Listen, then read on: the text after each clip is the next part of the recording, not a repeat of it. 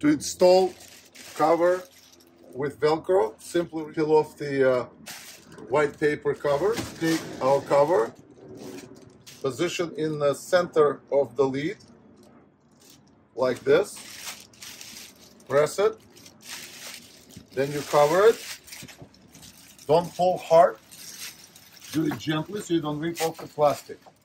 And it's done. If you want to remove it, like this, Velcro stays on the lid, cover stays on the lid, open it, deposit your trash bags, close it, and cover it again. Very simple.